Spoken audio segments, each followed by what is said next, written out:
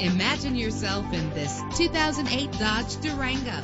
This is the set of wheels you've been looking for with a powerful eight cylinder engine connected to a smooth shifting automatic transmission. Premium wheels give a more luxurious look.